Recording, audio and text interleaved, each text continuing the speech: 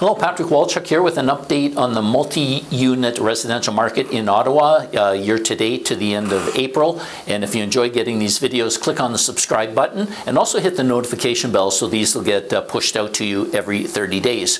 So when we're looking at buildings that have two to four units in them, this is what has, has gone on. We've had 40 sales so far this year compared to 62 last year, which represents a decrease of about 35%. The average price price is $1,043,000, and that's saying it's a decline of about 4%.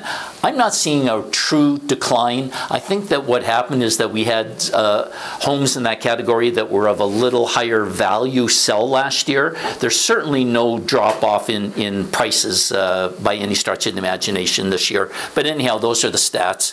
And in terms of how long it's taking to sell, they're selling in 43 days. Now, moving on to uh, units that have five, or buildings that have five or more units in them. There's been 13 sales this year, very, very strong, and that's an increase of 30% compared to, you know, the 10 last year. The average price, now the same thing holds true here.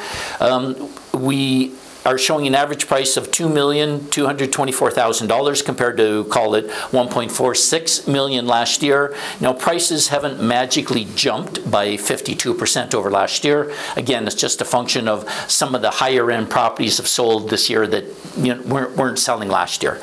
Um, anyhow, they are taking longer to sell on 86 or 86 days on average uh, compared to 60 days last year, which is 43% increase. If you have any questions about the multi-unit market, don't hesitate to give me a call. Thank you.